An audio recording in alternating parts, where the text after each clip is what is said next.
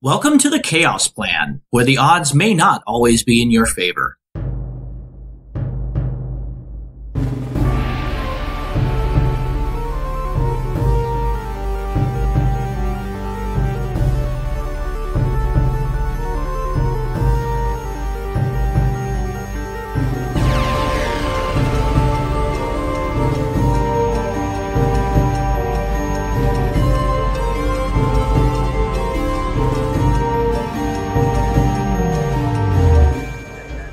Thank you for joining us for another episode.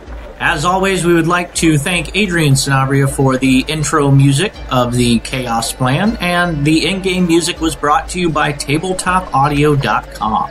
If you have any questions about what we're doing and how we come up with the rules, maps, places, anything like that, check out our website, www.theadventuringguild.com, and click on the Chaos Plan tab up at the top. This will also give rules on character creation and how you can join the show. To join, just visit our Patreon page and donate $1 a month to get in on these games. The more people we have, the more games we can run because schedules will line up better. And by joining, you are guaranteed a spot in this campaign. We will be running lots of different groups through, hopefully very soon, and since we're keeping it on an active timeline, we should be able to keep everybody managed as far as who is playing where and when. If you are unable to join but enjoy the show, please leave us a five star review, as that is how we will be able to get in front of more people and have more wonderful, talented people join the show.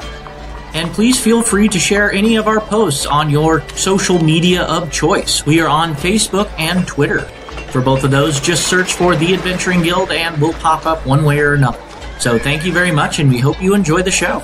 Thank you once again for joining us for another episode of the Chaos Plan, where the odds may not always be in your favor. This is going to be the first group game for this group of adventurers.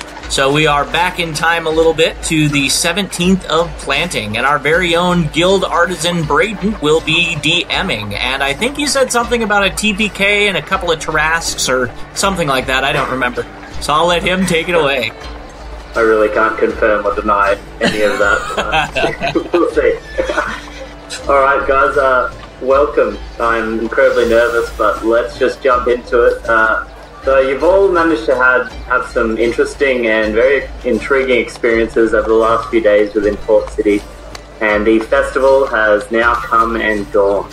Uh, the streets of Port City are beginning to slow down as everyone's falling back into their routines a lot of the tourists have begun leaving the city. Uh, that is, of course, not to say that things are the city is like devoid of anything to do. As there are still hundreds and hundreds of jobs available at the job boards and within the major guilds. So before you go out and uh, try to make your fortune with the city, is there anything your characters would like to accomplish first? I think I'm pretty much already uh, spoken for a little bit with what I'm going to do. I'm definitely going to try and run out and uh, as soon as I'm able to get to the Mages Guild in the portal area, I'm going to try and get a group together and do my best to uh, have everybody sign that guild charter at some point so we can start getting a move on with uh, getting a guild actually formed. But for right now, I'd probably just grab some food and then meander that way at some point. Sure. The Tinkers Guild probably has some sort of cafeteria area where uh, strange robot-like creatures uh, operate a sort of food line where they sort of butter one slice of bread, pass it on, get butter, uh, put like jam on it, then they pass it on and make like a PBJ or something. That's fantastic. Uh, how much time would we have in the morning? Uh, it's ultimately up to you. I might see if I have any unwilling, actually willing victims, uh, willing to make a pact. Okay. Where would you be searching for these willing victims? Um, doesn't actually say I have. I'd probably be picking one of the heavily populated areas. So maybe where everyone, like the market area. I know it's much quieter than it was. Well, in saying that, it's still a heavily populated city, so tons of people around, but it's not shoulder to shoulder throughout the streets like you were uh, experiencing in the last couple of days. So if the um ooh, and that is apparently eighty percent. So one interested person. Has Bob explained how this works? Uh, I listened in, but may I have a refresher? Yep. Base, Basically, he just uh, you play whatever willing victim and uh, negotiate basically to. He's trying to convince you to become a warlock of some entity or another. So just play, you know, somebody looking to be a warlock. Yeah, it's making warlocks of either Imix the Fire Lord, Basil the Celestial, Scorpio the Desert King, or Balagos the Ancient Red Dragon. Awesome. All right, well, roll a d100 for me to see who you come across. Alright, let's do the metal die. 14. 14. A flump. Uh, so walking through the streets ahead of you, looking a bit down on his luck, appears to be a mountain dwarf with a very long and flowing black beard. A bald head, man probably within uh, his like third century on the on uh, Earth. Uh, he's he's looking a bit uh, sad. Alright, so I'll just kind of saunter on over fairly casually, just put my arm around his shoulder and be like, friend, you look like you could use the pick me up of a century. He, uh, you probably would have heard as you're sort of walking up, he's muttering to himself under his breath, saying, um, "I'm gonna fire me or I'm a hard worker and they fuck me." And you, as you put your arm around him and uh, greet him, he just sort of looks up to you with a bit of surprise. I I happen to know what it's like to have a bad day, have a bad bad month, bad year. And I have friends who might be able to turn things around for you. Have you ever You know, like a job or power? I I barter and sell power. Is that something that would interest you? Uh, I mean, it depends on what you're talking about. Well, you you've been around the block a time or two. You know of warlocks, right? I think my mom told me something about warlocks when I was only uh, 20 years old. Well, I'll give you a brief refresher. It's very simple. There are powerful beings in our world. Just blows your mind, kinda hurts your eyes, powerful beings. And they're limited in what they can do and where they can go. So they pick special, very select individuals. And they bless them with a bit of their power. So they can go out and work on their behalf while still living their own lives. Don't don't kid yourself. You you get to do what you want to do still. Don't worry. It definitely helps with the job board and being having that magical power, the gifts, and sometimes they take quite powerful physical forms too. It it can really help you fit into any job. You see his, uh, the sort of frown on his face slowly inverting after you mention that he's special and that it'll help him get a job. And he's slowly sort of turning around to you, like nodding his head with a smile. So I have to ask, do you have any affinities, any any places that you just fit right in? I, I spend a bit of time around the temple district. Well, I'm more talking.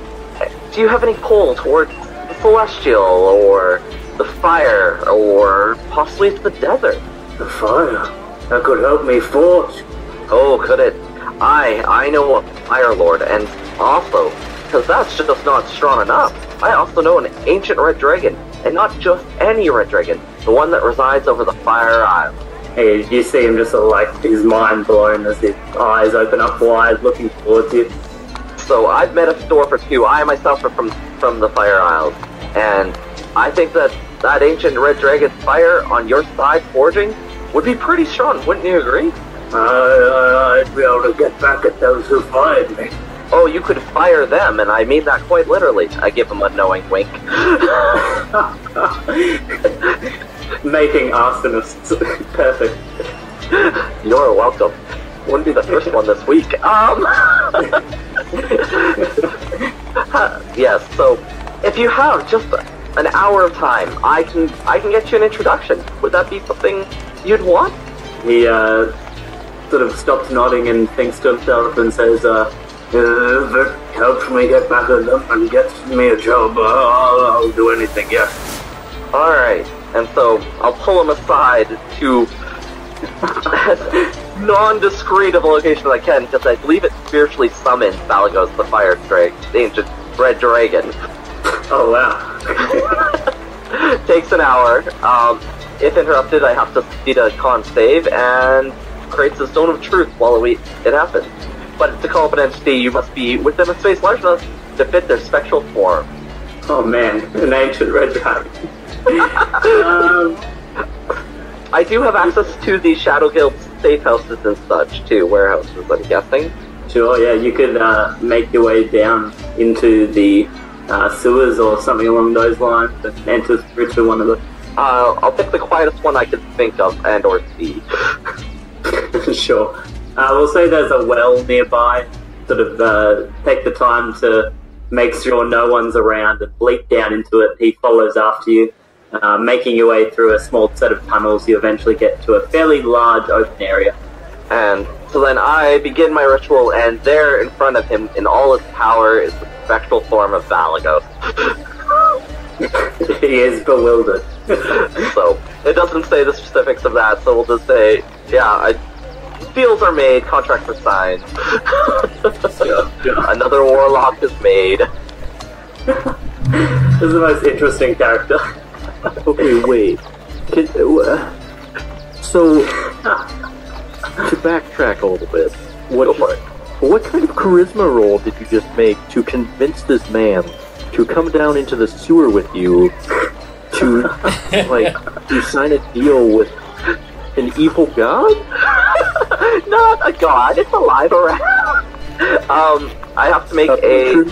Yeah, I have to make a, I guess, a percentage per- percentile roll, and I either have to, depending on the roll, I either have to make a persuasion check, or it's pretty much I find someone who is so down that they're just like sign me up for whatever.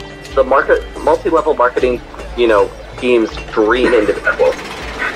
Oh, so you just so if you get a good percentile roll, so this is so this is just you like in game wise, you're like you're going around throughout the city and like you might spot someone that's like the perfect mark, you might not. Exactly. And so in this case, I hit the perfect mark. That makes more sense. Okay. Yeah. And so then, yeah, the guy is just absolutely game for whatever I say. feels bad, but at the same time, feels so. Yeah, yeah. Sorry, Bob, but that guy's probably going to go and burn down a uh, some some dwarven place of business. No worries. Uh, yeah, so then it's, yeah, that's how it works. It, that's, it's fairly easy to do in a heavily populated area, but then along the road in the wilderness, like, my odds are very slim.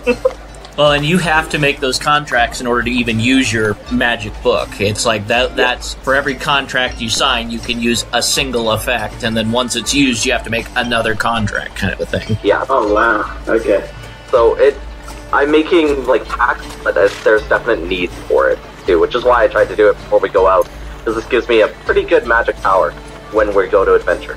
I was just thinking, as soon as you come into contact with Dandabin and start preaching him this magical pact spell, he's just going to be nodding his head like, yes, anything. Perfect. All right, well that that takes up what I was going to do this morning. All right. Anyone else?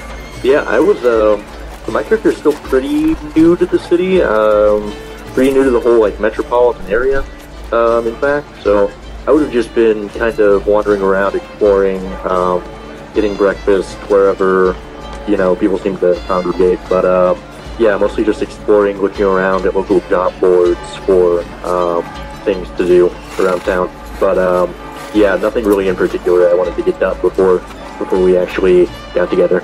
All right. Uh, roll a d6 for me as you sort of make your way towards the job boards. A number of adventurer types are around there. You see. Um, that is a five. Alright. Uh, you look across the adventuring board, um, the job board, sorry, and see a number of different uh, quest opportunities for you. Um, one particular that you uh, notice is that someone has posted about a stealth mission to salvage a lost caravan.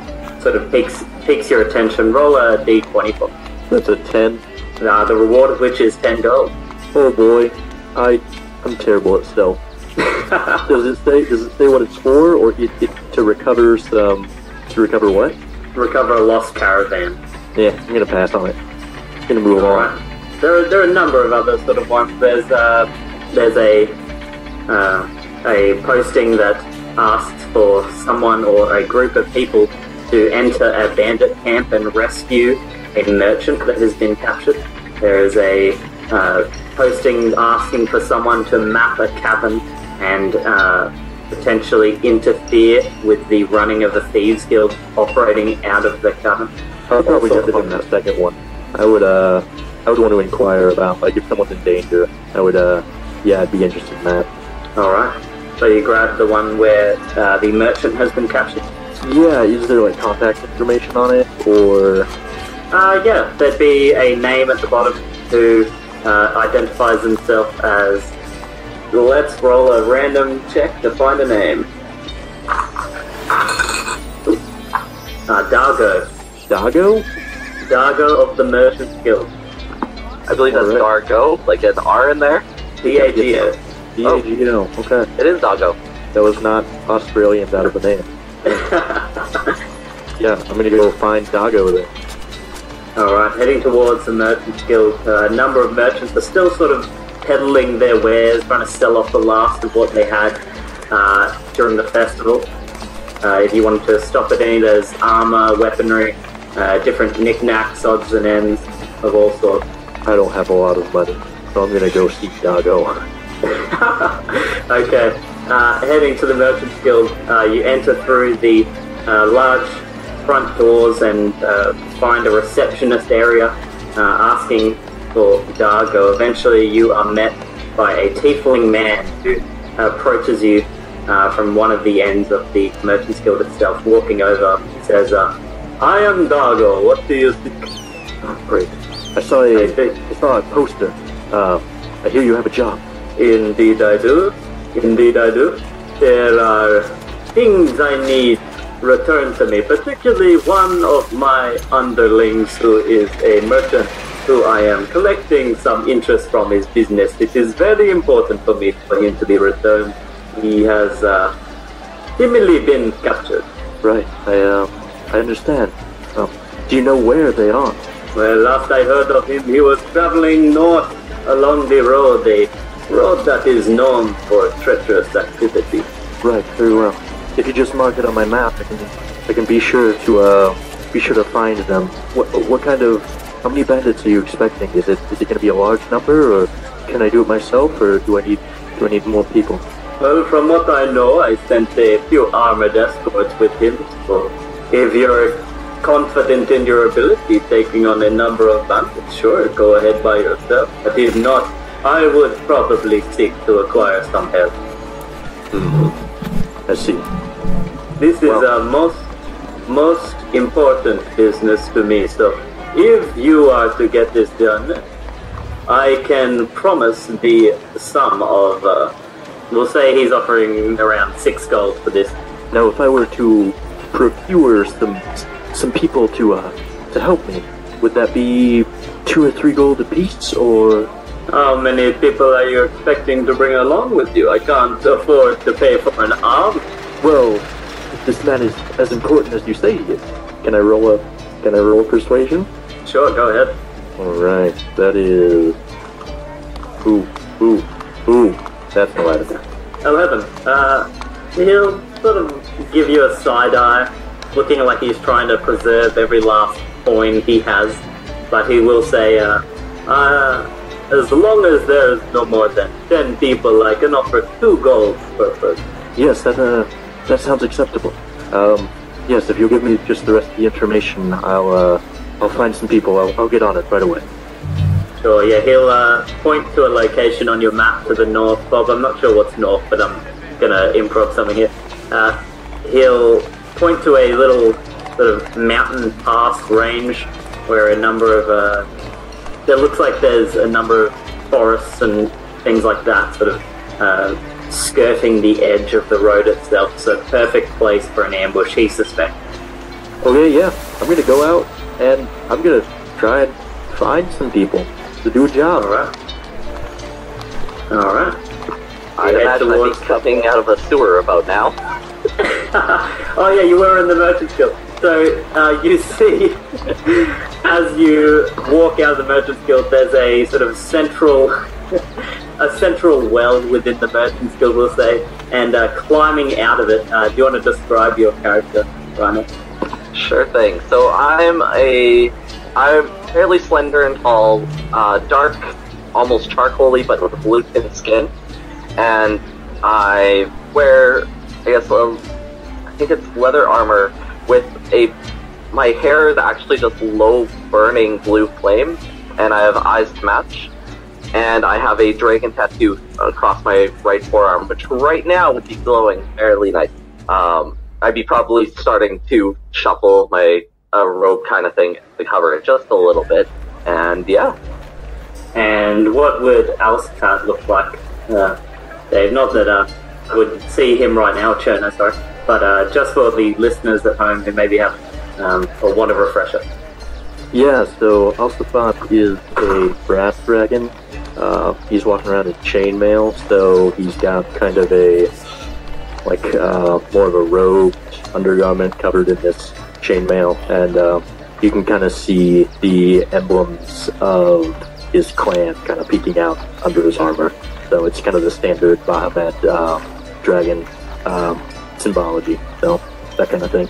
He's um, you know, he's a little bit more on the thunder side, but um, still beefy enough to deal out some damage if he needs to. But he's also got um, like the normal religious symbols, um, you know, a little utility belt, perhaps, um, as well as a shield. So, Awesome. I'm not gonna lie, I kind of picture almost halfway like a Dragonborn Moon Knight. Yeah. yeah, that's about it. Alright, I. So you did remind me, I also would be wearing a clergy robe because I am part of the Temple of Knowledge. Nice. Wink, wink. That's all anyone needs to know. okay, okay. Uh, perfect. Uh, so you you definitely see this strange man exiting the well in the center of the Merchants Guild. If you want to do anything about that, otherwise heading towards either the Mages Guild to uh, look around the portals for potential adventuring partners would potentially also be a, a good use of time. Yeah, I'm assuming he looks a little bit more capable than like the average person walking around. Yeah, you see, you would see like a a couple of like elderly people, a large, uh, rotund man walking uh, through the Merchant Guild as well, and you take the pick of which would be the better adventuring partner, and you definitely think the uh, the strange flame man would probably be a better choice. Yeah, I'm gonna walk up to him. You see Hi, my Emperor friend. Dragonborn approach you. Uh, I'll talk to him in Draconic. Hi, my friend. What can I do for you? Hello, um, my name is Alsafat. I, I, I happen to notice you look equipped for battle. Are you, uh, are you an adventurer by chance? Uh, not as of yet, but I've been looking into it. I Are you looking for a job? I am. Okay, do you well- have one? Well, by proxy, perhaps. Um, you see, I was just talking to a merchant, and it seems that um, one of his friends seems to have got got in a bandit trap, and uh, they need someone to to retrieve him. and I'll throw my arm over your shoulder like we're your best of friends and be like, I think we can make a deal. Oh no! Okay. Tell me more. Sign me up. Let's let's go save a man, save a man's gold or what else. Yeah. So it seems that he was traveling with a couple of armed guards when he was when he was taken. So uh, you you you do look capable, but uh, I would feel more confident if we had perhaps another person or two with us. The more the merrier, and let's make some friends. To the Mages Guild, I hear there's a good good pickings for adventurers around there. and a flame lights up in my eye. I don't know where that is, so I'll let him. Not concerning at all. Yeah. Don't worry about it. All right. So, uh, Steph and Bob, would you be heading the uh, job boards or major skills? Uh, first, Steph, what would you be doing in the morning? Uh, I would be up and early, uh, making doing maintenance on my gear, making sure they're working fine. And as per my agreement with the Drunk Mug Inn's uh, keeper, Ayla, I would be spending the early hours of the morning chopping wood for firewood and after getting a decent enough breakfast, but nothing fancy, I would be taking my poster that I took from the notice notice board and start making my way to the Fighters Guild. And Okay. that's what that will be. And Bob, may you give me a refresher on this notice? Yep, uh, it, he was going to train a group of spearmen. Um, I think three days uh, was the term of the contract. Uh, I think something like that. So, uh, sometime in the next three days, uh, he would be training some spearmen at the Fighters Guild. Yep. All right. Yeah. So you make your way over to traveling for around, say, 15, 20 minutes, uh, getting over that way. Oh wait, you are are you stationed within the Fighters Guild? First? No, uh, currently not part of Fighters Guild. Uh, Okay. I believe this was going to lead into membership, but uh, Okay. All right. So heading towards the Fighters Guild, you eventually are still early, but there are people out uh, readying themselves and beginning like a sparring session of sorts. Do you uh, do you head on inside and uh, look for these spearmen that you are to train? Uh, yeah, I will be heading inside, but it would be yeah going to the receptionist to make sure I find the right people to train. Sure. Yeah. Upon entering in, you see a uh, elderly man who appears to be a veteran of sorts. He's uh, got scars across his face where it looks like he's taken a swipe from a claw of some kind. Uh, he kind of gives you a smile and says, uh, "You're up mighty early, my friend." Uh, it's just part of their job, trying to be professional about it. I like that. What can I help you with? I take out the job posting and I show it to him. I'm here for the training. Uh, I've been told I'll be training a bunch of new recruits, making sure they know which point to end, which point the point at the enemy. yeah. Pointing the hilt at the enemy or the, the uh, pommels. yeah. There's a feat. Almost, almost are powerful. Just have to make sure they Yeah. take that polearm master feat so they can actually do that. yep. All right. Uh, the man will say, uh, "Yeah, yeah, they're stationed within here. I'll go. If you just want to go and get yourself ready in the uh, in the sand pits." I will do that. Uh, I look around. Where's that? Where's that again? Uh, he points off to a set of doors that lead down a staircase and uh, says, "Just down there." Okay, I give Should I- him, I give him a Okay. salute, and- and then make my way. All right. He says, "Uh, should have everything you need down there for, so don't worry too much." And he uh, walks out from behind the desk and heads towards the uh, rooms and whatnot of the Fighters Guild to wake up the new recruits who are ready for training with you. Okay, I make my way. I, I don't have anything to prepare, but yeah, I'll just be waiting for them to show up. All right. Uh, eventually, coming down the stairs a few minutes later, you would see some younger sort of fighters uh, readying themselves, sort of limbering up after just waking up, their eyes still a bit red and uh, filled with sleep and whatnot. One of them yawned, uh, but the veteran sort of comes down behind them, gives you a nod, uh, pushes them into the room as you're waiting in the sand pits. Uh, there's a number of weapon racks around with all sorts of different weaponry, and uh, you point them in the direction of the spears as they pick them up and meet you in the center of the sand pit, ready for your instruction. Roll a d4. On a 1 to 2, it'll be 1 hour. 3 to 4, it'll be 2 hours. I, that, that's a two. Alright, just a single hour. So the introductory to Spearmanship 101 will be run by you uh, for these new recruits. They all look sort of a bit, uh, bit frightened and apprehensive of what they're about to do, but ready to learn nonethe- uh, nonetheless. Sure. Alright, yeah, you get the uh, new recruits sort of excitedly using their spears and uh, get them in different uh, groups or groupings where they can uh, practice different maneuvers on each other within the safety of the pits themselves. And uh, you managed to complete your class without any issue. They're all picking up the basics of spearmanship, and uh, the class ends as the veteran sort of opens the door once more, sounding a bell for an hour past. What uh, would you like to do after that? Uh, Bob, would that be the entire? That would that be my shift? Uh, As no, per the yeah, job posting? yeah, that could be your shift for today. Um, I think in our, I think in your intro, it was three days uh, that you had to do it for. So that could be day one of three. Not a problem. Okay. All right. Now, would he get paid per day, or does he get paid by the at the end of it all? I honestly don't remember off the top of my head. Um, I think it was one gold a day. So then probably you'd get paid one gold each day you did it. I I probably. Sure. As the uh, the veterans sort of wait, the uh, young students return up the stairs, and as you pass by him, he puts a single gold piece in your hand and uh, thanks you for a job well done. All right. I'll see you tomorrow then.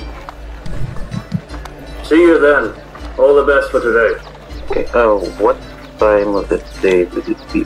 Uh, since you got up fairly early, it'd only be at around maybe what what time around would you get up? Maybe like five a.m. I would probably head out from the inn around 7 a.m. Okay. So, yeah. All right. So it's probably around eight eight thirty right now. Okay.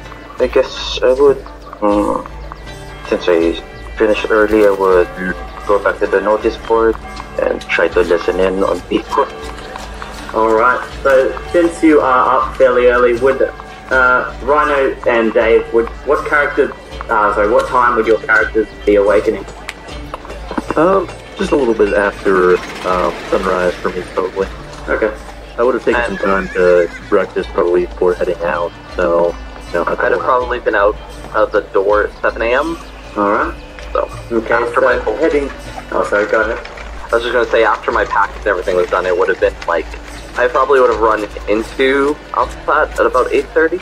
All right. Well, that's perfect. Thank you for that.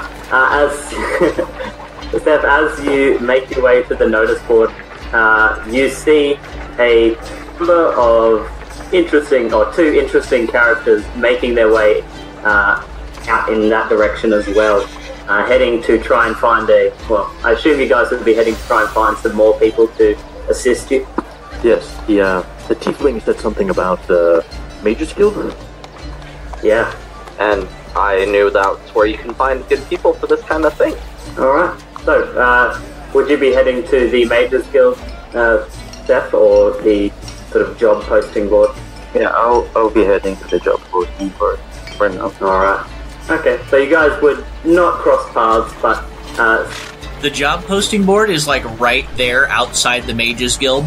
So it would Ah, be perfect. yeah, it would basically be like across the street. The Mages Guild portal would be kind of like the center square or whatever, and then one of the buildings on the outside of the square would be kind of the job posting board area. All right. So as you are approaching uh, Alphega, you see a number of interesting people around. A few sort of looking for job postings. Bob, I'd say at this point you'd probably be heading this way as well, would you not? Yeah, yeah. As soon as I got myself together in the morning, I would have headed over that way and started looking for groups. All right. Yeah, you see a blonde man uh, looking around, a bit bewildered by all the around here. There's sort of wielding all kinds of legendary weapons of sorts. Uh, one man, as I heard in the last episode, is actually wielding a Buster sword and uh, slung over his shoulder. Uh, a number of other interesting looking objects are being held, and they a lot of people here appear to be very, very seasoned adventurers, but you do see a couple of people sort of roaming around that uh, looking fresh to the uh, to the uh, what's the word I'm looking for to the sort of adventuring life. Would we see him walking up? Uh, there's a fair amount of people here, but you would someone the uh, district at one point and sort of walking forward. He appears to be of a similar sort of uh, look or experience level to you. Someone Does that he look- maybe. Does he look battle ready, or does he look like a dude? What what does your character look like? There? Oh, sorry. I thought we were talking about the uh, guy with the Buster sword. Um, yeah, I would be. Yeah, I know. I'm like, ooh, this blonde haired guy with a buster sword. Let's hear about him. Um, no, so uh, I'd be in like dark burgundy red uh, robes, and I would have a black mask on, and the uh, mask would be kind of in not like plague doctor type raven, but it would be a raven mask. And I would probably have my packed weapon out, my glaive, uh, using it kind of as a walking stick almost. I would probably conjure it a little bit smaller, so it would be probably head height, not a whole lot above. Um, and I would just be kind of looking around, trying to uh, get a feel for everything. So I would be definitely keeping a distance from everybody, like not getting super close, but I would be looking around pretty warily. Yeah. So as you uh, you would definitely see someone sort of looking around and uh, looking, yeah, looking like they are uh, sort of perusing this area. I would kind of give a nudge and uh, and point towards Bob and say, "Tiefling, what what about that? What about that one? Oh, I'm not a tiefling. Sorry, I'm. Wait, Uh, what? What the I'm heck? Gymnast- fire gymnasty. I just happen to be on fire. um, I would definitely be pulled towards Bob because I've got good experience with people with glaives. And Beverly. All right, fire first. Um, Hey, you should call him hot stuff.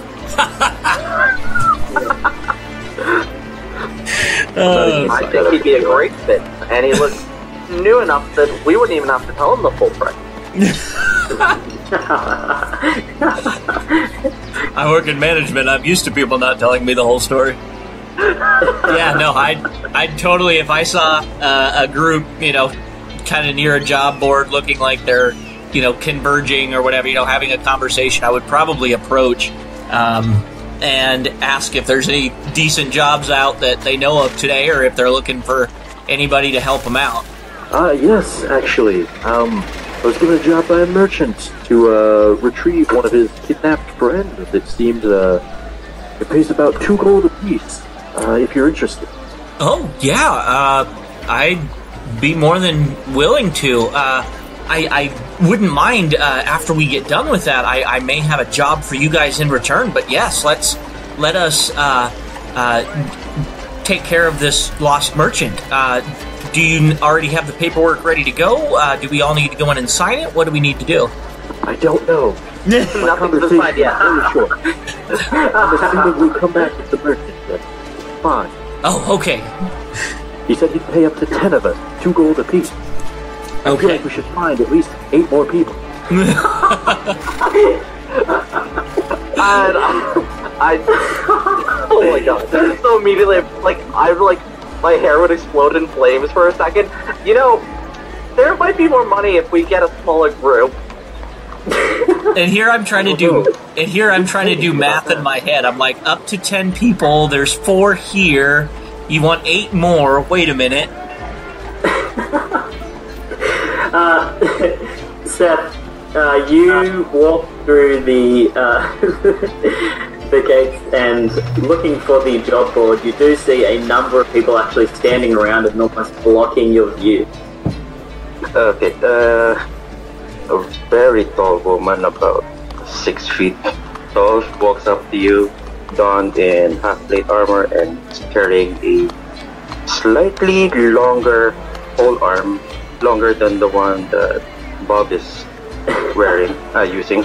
And you can see on the pole arm there is like a flag wrapped around it, and it's been secured by a cord.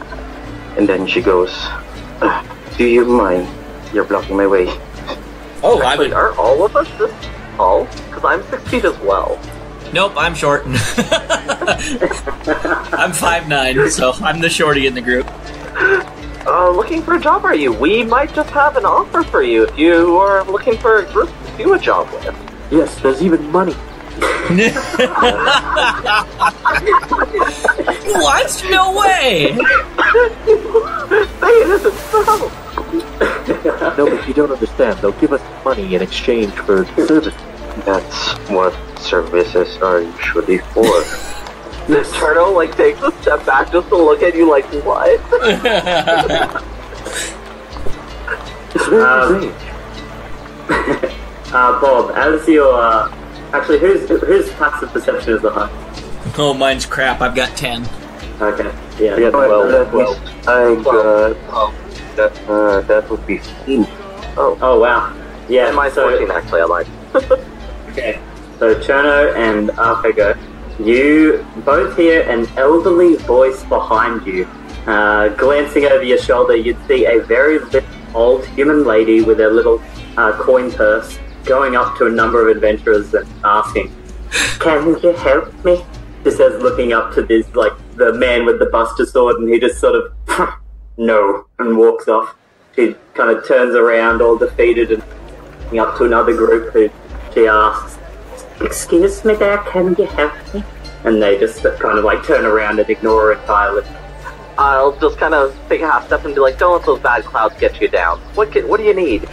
A little smile comes across her face and she sort of takes a few shuffle steps forward towards you. Says, um, I don't quite know how to post a job posting, but I need a few strong people to help me. What do you mean by strong? As I look at my tiny little arm.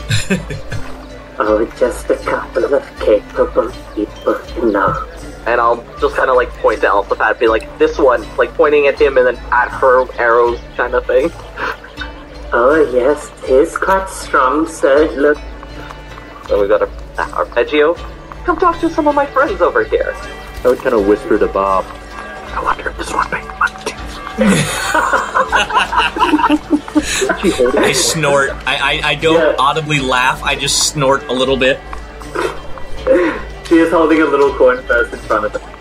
How small is the coin purse? Like, Ah, it's, it's like a fist size. A perception check on number of coins. Yeah, yeah. Get, all right, go for it. Alright. I was being sarcastic, but I'll take it. Ooh, that is a 22? Oh man, uh, she looks like she's holding a fair amount of coin. Whether or not it is coppers, silvers, or gold is unbeknown to you, but it appears to be fairly filled. I, I'll just do two thumbs up with little flames coming out of my thumb. Uh, she sort of hesitantly steps forward. Uh, you're all a lot taller than she is. She has a lot of uh, hunch in her back, and she's sort of like looking up at you. She says, um, I'm just looking for a few people that can just lend me a bit of a hand. I don't want to be a nuisance if you have better things to do. Yeah, I would like squat down like a little bit so that I'm more on eye level with her, and I would say I'd be more than happy to help, and I'm sure uh, my friends here, and I'd kind of gesture around, would be willing to help too. What do you need help with? Oh, you're a very kind man. Thank you so much. She sort of, her hand like comes out shaking and like your cheek and then retracts. she says, um, I work at an orphanage. I'm the main matron there, and I'm just worried about some of the children and the things they're getting to. Okay, uh, how can we be of assistance then? I don't know if I can say it out here. Maybe if you were to join me in the orphanage, it would be a bit more uh, private. Yeah, I'd be willing to follow her. I'm a little bit cautious, thinking Let's something Yeah. might be up. Yeah, Old lady, come with me. exactly. Uh, if, if I if I see above the door free candy or anything like that, I'm turning away and running. Um, yeah, I'm just following. I'm, I'm, I'm, I'm going. That's totally fine. she says, uh, I can pay you each a bit of gold. I, I inherited a little recently, and I've been saving just for this occasion. Can I roll an insight? I would like Sure. to roll an insight as well. Okay, go for it. Is, did she inherit it from murder? 15 for me? No, no, 18. Oh, 17, sorry. 20, 23. 23. 23. Man. Uh, you can tell she's definitely telling the truth. She has inherited money and has money to give. She appears like she's being. Her, her, the way her body language is saying it looks like she's willing to offer a fair amount. This is fairly important to her. Oh, how, uh, what does she look like in, in terms of Uh, she shabby or she looks uh, she's, fine? she's well kept ish. She looks like she's she definitely lives in like the, a more common area of the city or a lower class area. Uh, having said that, she she did say that she is the ma- main matron at a orphanage, so she uh, puts on a sort of professional appearance ish as well as she can for uh, coming from like a lower class area. Just follow her straight to the orphanage and hope we don't get shanked. Okay, so uh, you head towards following the old lady. She puts on a brisk pace of about 15 feet around, and uh, you slowly trail behind her. Um, every now and then, you'll see a little child run by with a toy in their hand. She'll just sort of smile and wave at them, and they'll wave back and say, um, "Hi, Marjorie," or "Matron Marjorie, nice to see you." And she she just says, uh, "Be safe out here, children," and like gives them a wave. Can I Uh, try whisper eventually, in her ear and like try and get more information on what's happening before we actually arrive? Now that we're like out of the open a little bit.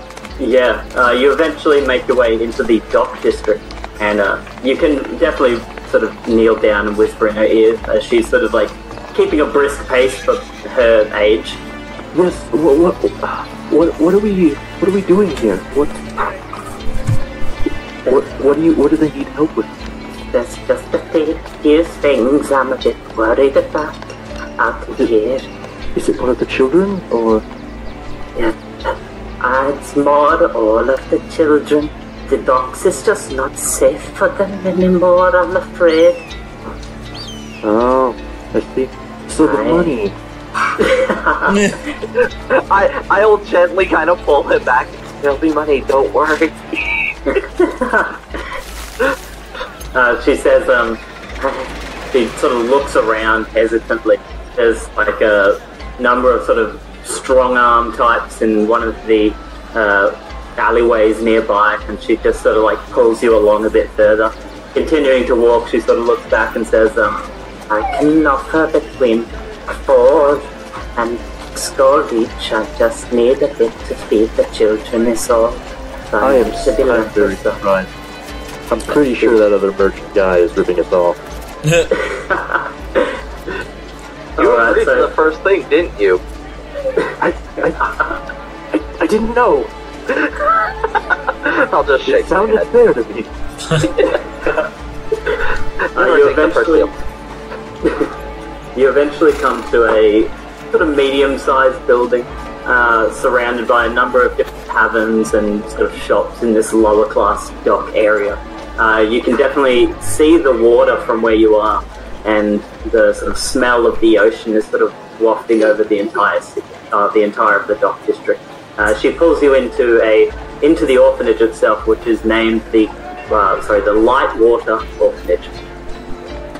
She sort of cracks the door open and brings you inside. It's very dreary inside, not much uh, decoration around, but uh, the children within seem to be happy and running around playing with toys. So, On the way in, I'm going to move over to Bob and be like, "Do you think it's named that because they might they either sink or swim?" I laugh at that. Got so, can I so, tell well, what age range the children are? sure, give me a perception check. That's a natural one. Oh, uh, they're they're all playing so quickly you can't quite get a glance. Think so you think they're very young. Or they're got or they're gnomes or just halflings. It's a lot of weird tavern full of small halflings. yeah. All of them are dressed in like little bonnets and stuff, but they're all actually just halflings. Yeah. That's awesome. Uh, she looks to you all and says, um, like I said, I can offer you between four and six gold, depending on how well you do. But the need to ask you is a bit private. So if it could be left between us, I'd really appreciate it. I nod in assent. I She says, agree. Uh, she says, um, recently in the city, or more in the docks, especially after the festival, things have been getting a bit dangerous for the children. I, uh, I hate to say it, but justice hasn't been served recently.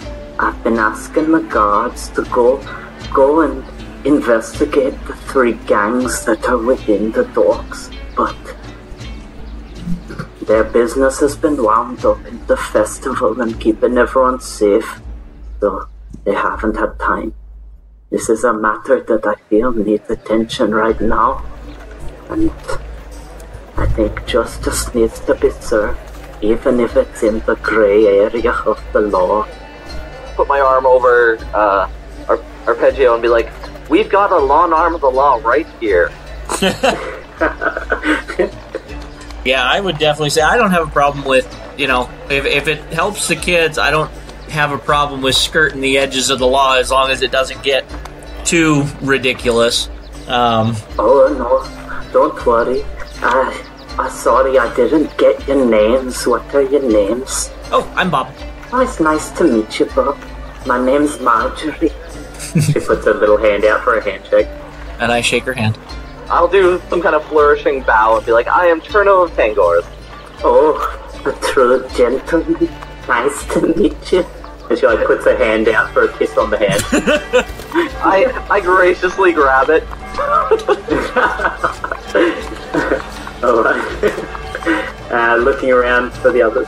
Right, so I'm off the clock, and I uh, give her a pat on the arm. Oh, Not really sure greeting her heart. nice to meet you. And you, ma'am? I nod and Arpeggio Ferry, at your service, my lady. Oh, it is lovely to meet you. I, I appreciate you here. I know, I, I know that there were many, many different jobs that you could have got, but you chose me, and I appreciate that. I don't know whether the other jobs would have changed for the greater good the city now. So, just rest easy knowing that you're going into this to help the children. Uh, she'll say, um, recently I've noticed, well, I've heard that there's this strange new drug on the street called Scorch. It's highly addictive, and I don't want to see any of the children getting addicted to it or even being exposed to it. Torch from the fire isle. Maybe. Honestly, I haven't thought about that. That's a good idea. I hired the right people. You are investigator. Uh, I will do my best to lump on that one and just kind of back up. Roll a deception. Uh oh. Ooh. Eh, that is uh eight. Alright. Uh, she says, um, oh, well, I know you tried your best, Demi. But Thank you, ma'am. Uh, she says, um, recently the Scorch has been sold, and with the increase in gang activity, I can't help but think that one of them is responsible for it. One of who? One of the gangs. There's three of them that operate out of the docks. Ah, yes. What are, what are their names? Oh, there's the Slicers. They're ruled over by Karuk Steeljaw. He's a big half-ogre brute. And then there's the Greyjacks. They're led by Raphael Hiskel. He's a conniving one. And then there's the Ode, which are ruled over by Brumwell Midnight Mine. She's a dwarven berserker. Truly frightening lady. I'm I'm sure one of them is bringing this stuff in and endangering the children. What's it called again? Well, Uh, what was what called, sir? Scorch. The drug is called Torch. And the three names. I'm trying to Uh, write that too. The, the gang, the slicers are ruled by Taruk Steeljaw. The Greyjacks are led by Raphael Hiskel. And the Ode OWED, uh, led by Brumwell Midnight Mine, a dwarven berserker of sorts.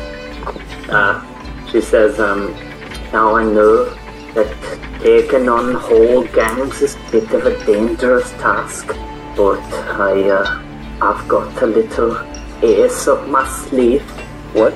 I've got a little ace up my sleeve. She pulls out her power armor and just like full suits up, ready to go. I will join you. I am a knight. I was an adventurer like you. Hey, I took an arrow. Hey, those little ladies with those knitting needles, you gotta be careful for those. You could like take an eye out. Oh, 100%. uh, as, as she's saying this, you see two children begin running outside. Wait a minute, Castwell. Wait, Sarah. Don't forget your toys before you go play. She, like, waddles over to a little side room uh, disappears for a few moments, bringing back a stuffed owlbear toy and a little uh, sort of nutcracker doll and uh, puts it in their hands and sort of pats them on the shoulders and says, There you go. Now go enjoy your day. Be careful, please. And they sort of give a nod and say, We will, matron. Then run outside. Just to be awkward, I'm gonna say, "Oh, I know what I'm getting Amelia for Christmas." the little halfling man next to you. Damn him. no one knows what that means yet. Um, but she comes back and says, Oh, sorry for keeping you waiting. So, do you think you're up to it, or is it too much to ask? Nope, I'm 100% ready. Or I, I would walk up to her and I say, "No, this is a very big thing that needs to be taken care of. If the city guard aren't willing to help out the kids in this orphanage, I know I will." I appreciate it, Bob. I guess I'm in. Oh, thank you, China. Um, yeah, I'll do it. Whatever. I appreciate the interest. I'm still not sure. Are are are, are, are drugs bad? oh, We have have you ever seen? Have you ever seen a child scorch? I have. I'm pretty sure most of our children are scorched. I'm from the Fire Isles. I think that's just called being awake. Yeah. She says, uh, "Oh, I didn't mean to offend you. I'm sorry." What does With hangs Scorch ahead. Well, it puts the the person who ingests it in a state of euphoria. But if they're given a bad batch, their stomach actually catches fire and burns them from the inside out. Jesus. Both warm and chilly. As as I was saying, she so before she says that, she looks to Arpeggio and says, uh, are, "Are you in, ma'am?" Uh, I am in one con- one condition though. I pull out parchment and like and pen and start drafting up a contract. I'll Okay. put my hand on your shoulder, like, don't worry, I got this. my profession is documenter. Contracts are literally all I do. So I just quickly pull up one. Like, it takes me one round, I believe, to make a full contract. Oh wow! Oh my god. Your hand like lightning across that parchment. You draw up the greatest of. Just a full agreement that we are going to work to get removed Scorch from the docks if it is, you know, done by one of the games, namely the Slicers run by Taruk Steeljaw, the Greyjacks run by Hal- Halfael Tiscale, or the Ode by Bromwell Midnight Mine. And like it has this, the agreed payment price, all of our names, done. I like how in real life, like he didn't even like meta that. He just like knew the names of who they were and everything. Just like snap. You are a documancer. Uh, before before he he passes it to Marjorie, look up at the contract and make sure there are no fine prints in it. We should be hoping for fine print at this point. There's lots of fine print. It's saying that, yeah, it has to be by one of these things, more or less caused by one of the games. We'll investigate, report back to Marjorie, but we are not responsible for, like, taking on the Shadow Guild or. Oh, oh no, no, Shadow Kill. Don't worry. Info. I, It's that. I give uh, a return the contract to uh, who signed it again? I'm sorry. No. Uh, before before she signs it, would now just remember. I know that it's a bit of a grey area, but these people are wanted by the guard, and I mean, if you were to, I don't want to say the word to uh, end their Murder. reign. Are you? Are, is it, She is it sort of like backs into herself and looks down, just sort of gives a, a dull nod.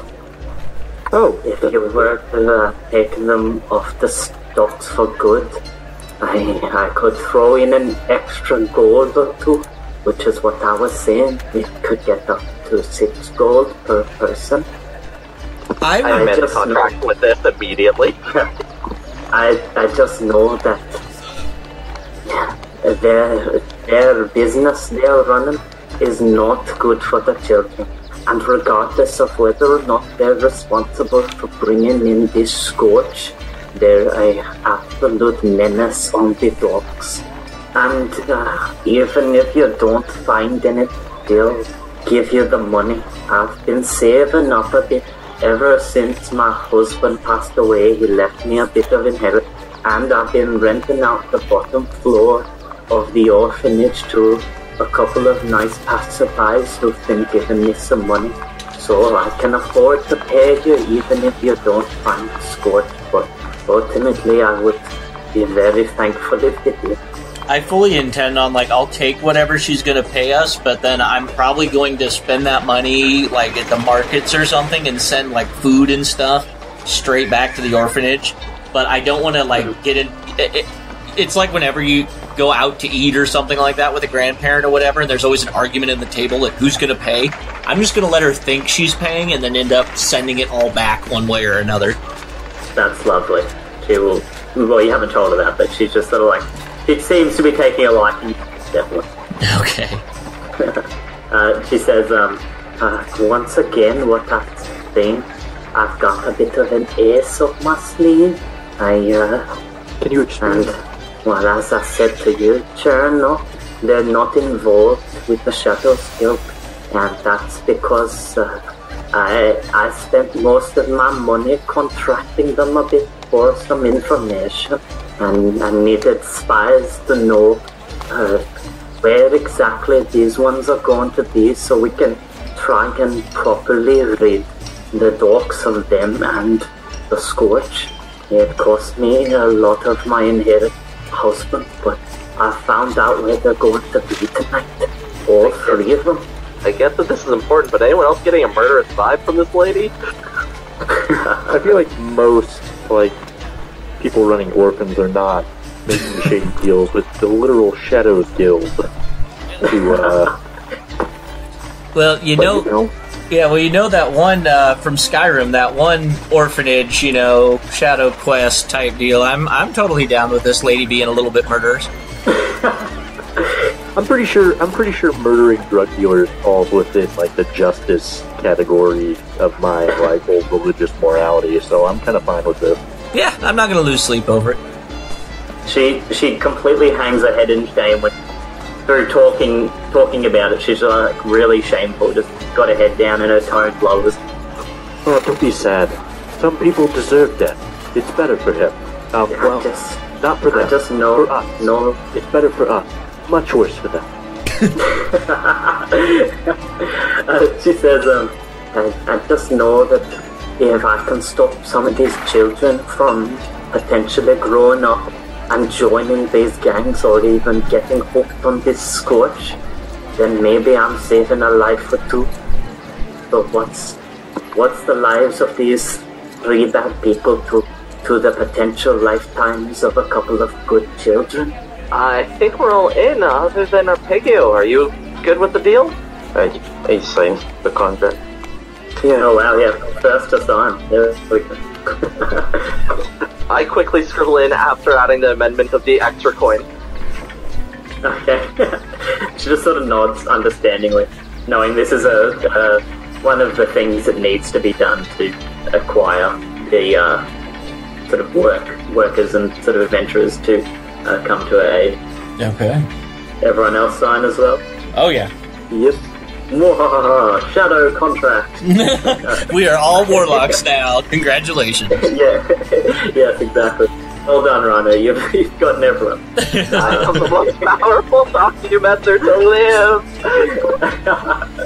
Uh, she will say, um, well, using the cover of the festival last night, and the guards are going to be sort of taking a bit more of a break on the docks. The gang leaders are going to be going about their nefarious businesses.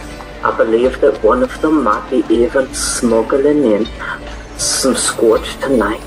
Uh, she kind of says, Now, this is what I learned and paid for from the Shadow Guild. Taruk Steeljaw is smuggling in something tonight at the docks. I'm not sure what, but he's got a ship coming in, just a small one, with some cargo. This could potentially be scorched. Scorched, sorry. Uh, she then turns to someone else and begins saying, uh, Raphael Hiskel is meeting with some representative of Fairport. Not exactly sure what they're doing or what they're looking to do. Maybe bringing in Scorch from Fairport. I don't. But they're meeting on top of a warehouse roof in the uh, Merchants Guild warehouses. Uh, that, she says, uh, Raphael Hiskel and a number of, um, oh, sorry, one merchant from, well, not a merchant, a representative of Faithful.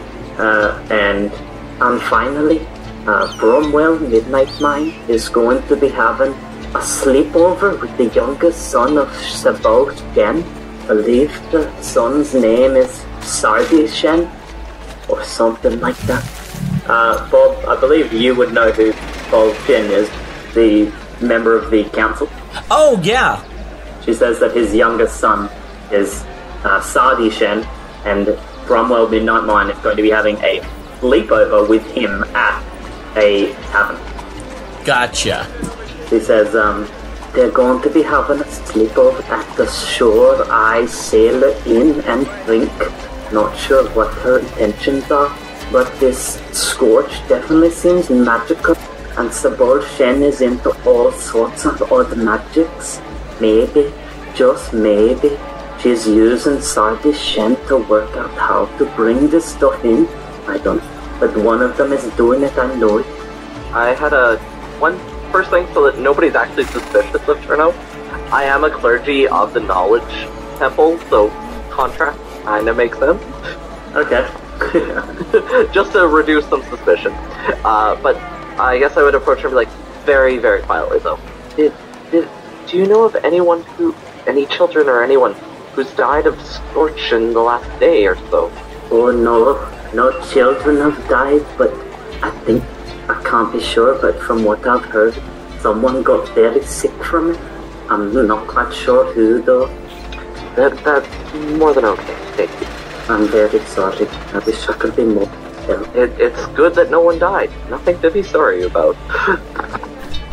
Um, she says they're all going to be in different locations, and I know that they're different gangs. Honestly, I think it might be better to, you know, rid rid the world of them quickly, one after another. Otherwise, word might spread, and the others might be more defensive. From what I know, they're going to be trying to be acting a little inconspicuous as there's still a bit of guard activity around. So I, I can't be certain, but I would assume they wouldn't have all their different gang members with them. I would probably agree with her and say, yeah, you know, something definitely needs to be done about these. Um, but I don't know about taking them out, you know, one after another after another, uh, all in quick succession. But I, I wouldn't say that to her. I would say, oh, yeah, I agree, something needs to be done. And then after we get out, you know, I would, you know, say, hey, guys, let's sort out what we're actually going to do here. Like, I, I'm a little bit worried that this lady is, you know, not that she's going to try and push for one way or the other, but you know, you never discuss the plan of attack in front of the client. You always do that kind of back room. So I would probably agree with her so that we can get out of there and start figuring out what we want to do. I just don't know, you know, whether agreeing to kill all three groups all at once is a great idea. So I guess on the way out, I'll be like, we will stick to the deal as we signed. Okay, I appreciate it. Come back and get your pay when you're finished. I'm Sounds sorry to burden you all with this. It is never a burden if there's skin involved. And I'll walk out.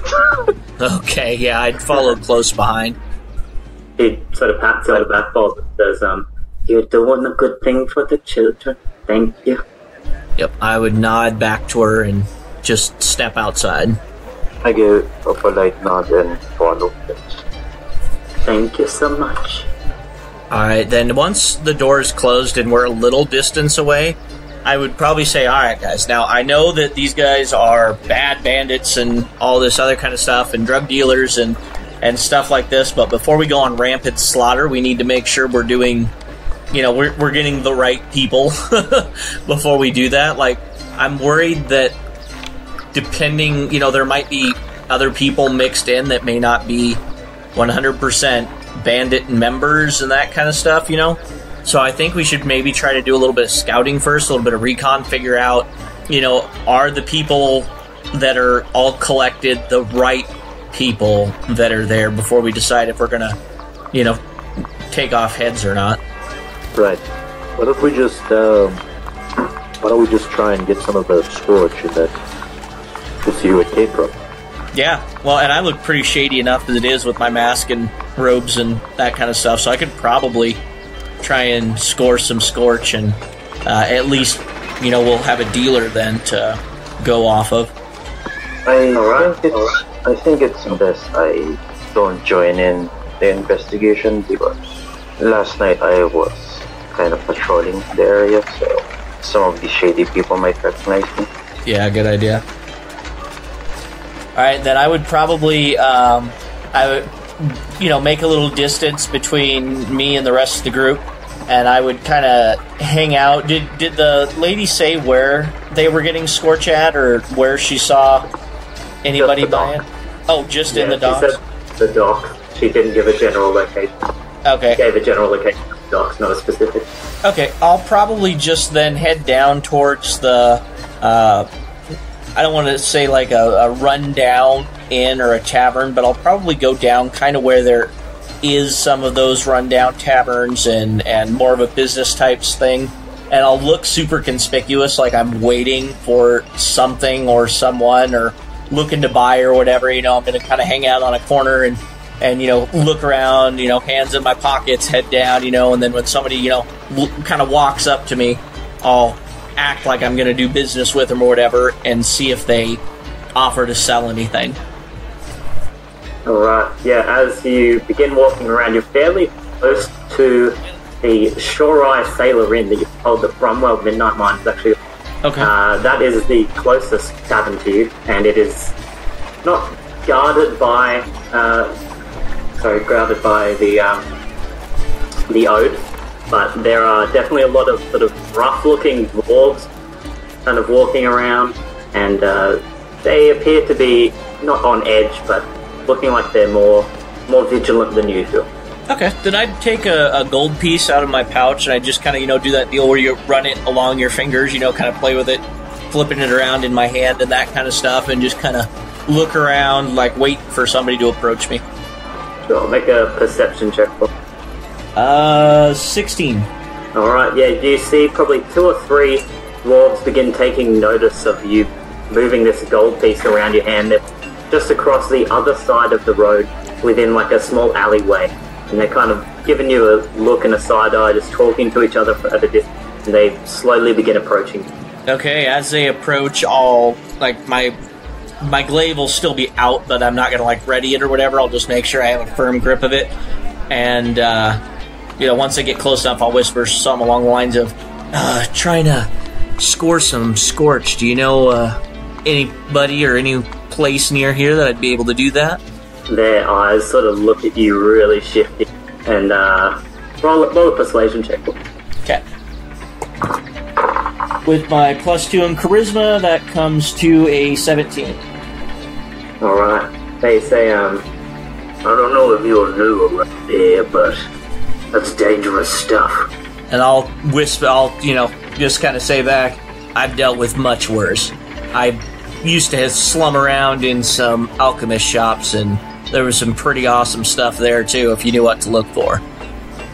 They kind of give you a side eye and say, uh, I'm sure you'll be able to find us somewhere, um, and they kind of, one of them begins like backing off and begins to walk back over the alleyway.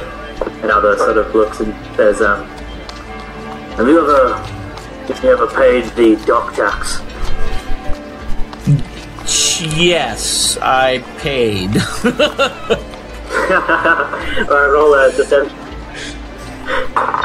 oh, there is a 12. Better than a uh, six. So Hot damn. he says, uh, alright, alright, you've paid what is owed. And he sort of gives you a side eye and says, uh, you be careful now. And then turns around and walks back into the alleyway, seemingly getting no response about Scorch except being told to go, you'll be able to find it somewhere. Huh. Um, does the tavern or whatever look like that? The does it look that rough, or does it look like it's a normal business type tavern, just with some less than savory people on the inside?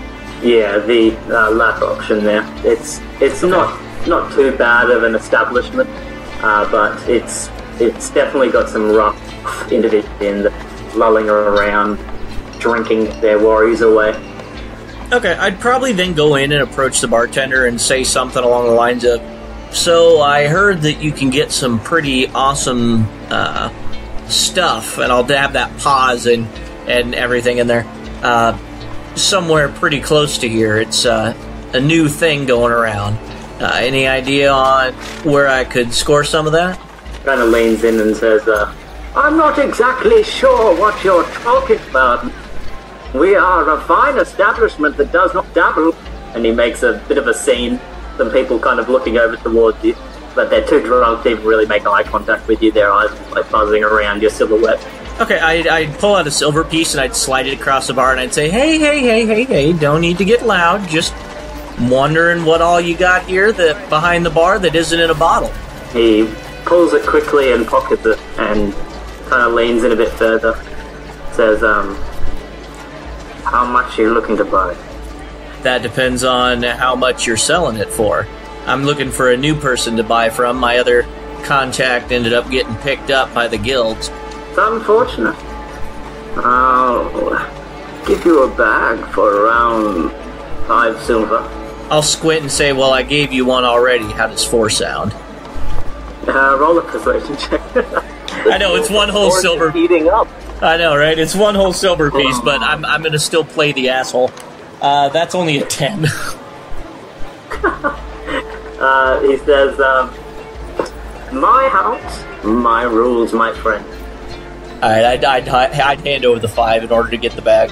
Alright, uh, you see him sort of kneel down behind the bar, begin like fiddling around with a, a bunch of different things. You hear glasses clinking against each other, uh, like a small door opening, and then he sort of steps up and puts a tiny little bag in front of you. Uh, the leather, sort of little, uh, like a piece of leather that's been like bound up with a bit of cotton, uh, little holding bag with something in it inside.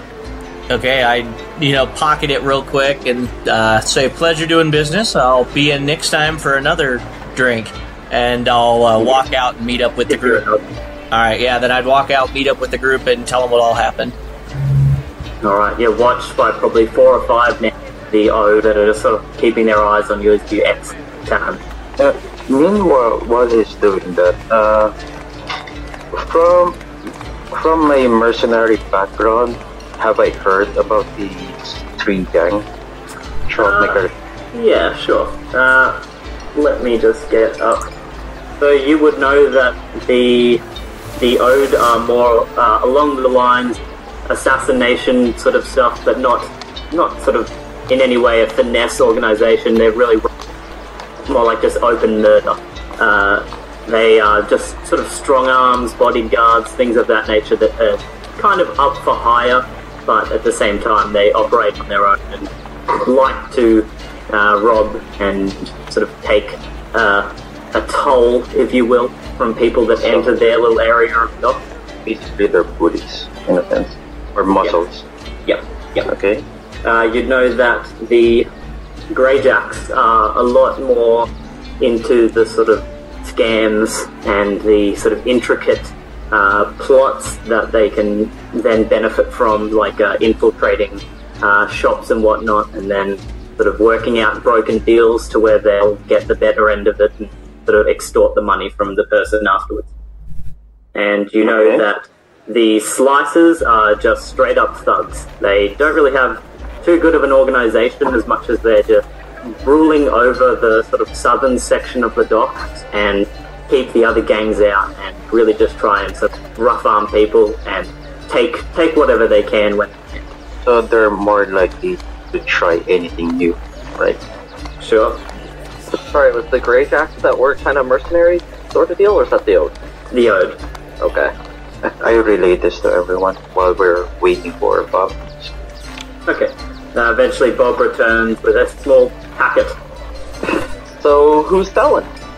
Yeah, I would I would tell the whole situation about um, tried to make some contacts on the street. The dwarven thugs out there didn't seem to want anything to do with it, but the bartender inside did. Um, and it sounds like it. You have to kind of know that they got it in order to buy it. It wasn't offered. Um, and I'll say that after that, I was definitely watched. I don't know if I was followed though uh, back this way, so we may want to be a little bit cautious on our way back that direction. Right. Are you are you sure it's are you sure it's legit? Did you actually examine it at all? Now I'm feeling stupid. I uh, did not, so I would definitely pull it out, and I've got proficiency in Alchemist kit, so could I roll like an Arcana check using the kit and try and identify it? Oh wow, yeah, you opened up. I'm gonna use my I'm gonna use my power to inform block him from hearing I Alright. Alright. Uh, Arcana. Oh, go ahead. Uh, I'll give you advantage on this, Bob. Oh, awesome. Uh, then that'll bring it up to a 21. Alright, looking at it, you can almost see similarities between this substance and alchemist fire.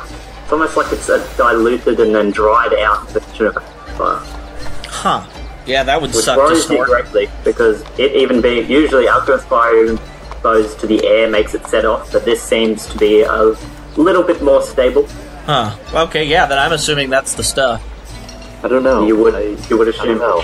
We're, we still can't be sure, right? I uh I feel like I should try it. Oh, God. Nothing like setting your stomach on fire. I, I caution against it, but I hand him the baggie and prepare cure wounds kind of at my fingertips, ready to go. Oh, you haven't done what I can do yet. I'm I'm pretty sure fire in my stomach is no big deal. I, I do hope we're not doing this out in the open. You can make your way into an alleyway. Yeah, sure. okay, so uh, uh, I've, I've got my wallet and everything with me, so I, I, I pull my wallet out and I uh, get a credit card out and uh, roll up a dollar bill and hand both of them to him. Oh god. Frank, What So the what heck happened? was that? happened? Do I die? You ingesting it? I am ingesting it. Alright, roll a constitution saving throw. Do I get advantage since I'm resistant to fire? Sure, why not? Does resistance apply to stomachs? Yeah. That's in that twenty. Oh, not 20, alright. Uh, so instead of getting a terrible effect, uh, you feel a slight head rush rapidly and begin losing your balance, but your arms and legs just feel warm. Your fingertips feel like they've got this sort of coursing flame through them that isn't hurting you, but just feels nice, and you're just, your eyes are growing sort of tired. Yep. Yep, that's it. No. That's what. Well, so much for off the fat. yeah. Yeah, uh, you fall to the ground and you begin just cradling yourself and sort of rubbing your um, arms. And, Oh, that's with a nat twenty too. Okay. This is no joke. yeah. Yeah, I just wait for him to come down off of it, and I guess we'll go from there. We'll say with the nat 20, you're fairly resistant. Only after maybe 10 minutes you manage to get your wits about you again, and the effects slowly wear off your form. Alright. You could definitely see that a child who were to ingest this would probably immediately die. Alright, well, um, I, I, I suggest we wait until perhaps this man, uh, you know, leaves his, uh, leaves his bar for the night and, uh, see what we can find out from him. We can, do, yeah. Interrogation works, but will that give us enough time to check with everyone? Because Oh yeah, that's true. he might not be anything big, and we might be chasing people around all night. I can send my Raven familiar to go scope out the other locations and just confirm that they're there. But um, I doubt I'll find out anything super specific from doing that other than, you know, that they're there. Well, we could, we could try and interrogate him now. Uh, we don't necessarily have to wait until after, after he gets done, but, uh, that requires a little bit more, um, subtlety. We could also just see if the guards know anything. That's a pretty good idea. Uh, Seth, I feel like we should not form the guards of our murder plan. I, I, I feel like we should stick away. Yeah, that's probably if we go asking about these three gangs, then the very same evening they end up all dead. That may be slightly suspicious. Uh, uh, you were saying? Yeah, I was gonna say you should use your contacts in the Fighters Guild to uh, try and figure that out. But like I said, I don't think we want to actually do that now because it would be super suspicious if they turned up dead after asking a bunch of questions.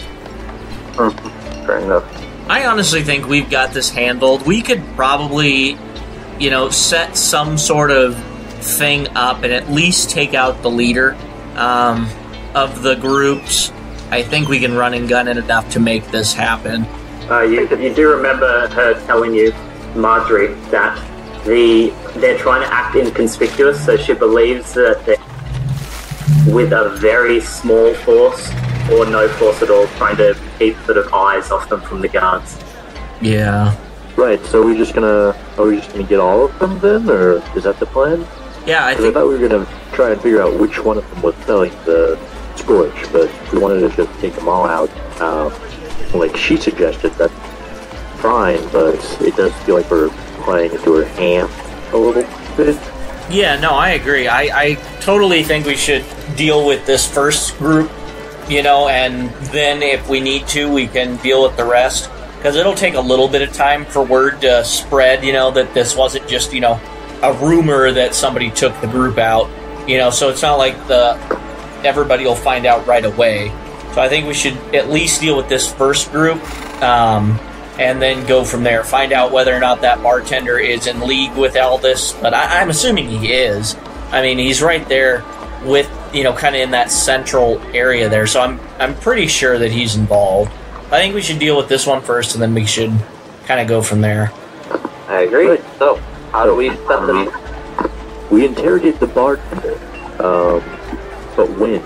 We're not going to get a better chance. I don't think we can really wait for him to get off duty and do that kind of thing. I, you know, if this is a gang, there's always going to be somebody there. I think our, you know, jump in, ask him questions. If he doesn't answer them correctly, then we'll start, you know, removing teeth until we get the answers we need.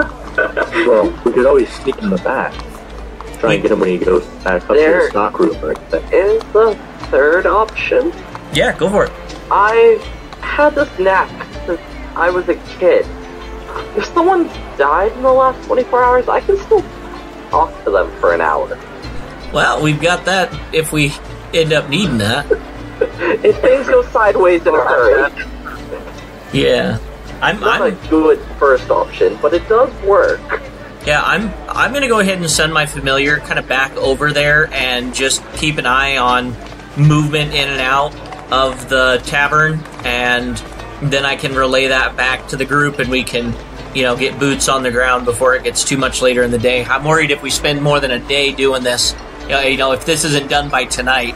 I'm worried, like you said, uh, or like the lady thought, that they'll circle wagons and we'll have a much harder time trying to deal with it. Uh, So you said DM, get off familiar over there? Oh, sorry, go ahead. Um, I'm asking, uh, from what I know of the gangs, do I know if they have any sigils, insignias that they go by?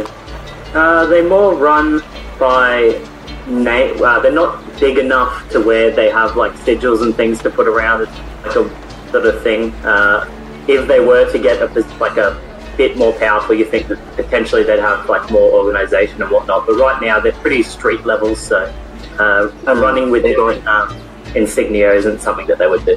Ah, Okay, so no identifying marks. No. Okay, okay. Oh, the, Yeah, the only thing you would know is that food is nearly made up. What was that? Uh, you got off there a bit. The you, the one thing you would know is that the ode is nearly completely made up of gold. Okay, never mind then. Uh, Bob, you send your familiar over to. Yeah, I'm gonna have my familiar just kind of circle around the front of the bar and and you know look for back entrances or possible ambushes or support that they could call in should a fight break out. All right. Uh, you cast your eyes through your raven eyes, and you see exiting from the bar itself. The one of the same dwarves previously talked to you, and he's sort of like looking back at the bartender, nodding, and then like walks off into the alleyway. Okay, I'll probably I'll have my familiar follow it. If nothing too much has changed other than that one dwarf going out, I'll have my familiar, you know, just kind of tail that guy and uh, uh, return to me once it finds out where the dwarf is going. Sure. He, he pretty much stops about 10 feet into the alleyway itself of uh, dwarves that previously lived. Uh, roll a stealth check for me just to make sure you're not spotted. Uh, for the Raven, That's for the raven. okay. Uh, that's a fifteen. Uh, whopping 10 over here. So you managed to perk up, uh, looking down over the over the sort of congregation of dwarves. You hear the one who the bar say, uh, I just had to check with the innkeeper, making sure those people weren't too suspicious. Don't want anyone sneaking in on Bromwell's meeting tonight. Okay, yeah, I would. of like, they sort of nod to each other and then continue to sort of watch the entrance to the tavern itself. I would relay all that to the group and get their thoughts on it. So, what do you guys think about the meeting? Is this something we want to try and crash, or do we want to preemptively take care of this matter before the meeting? Hmm. Well, I Well, think Bromwell's looking pretty guilty right about now. yeah.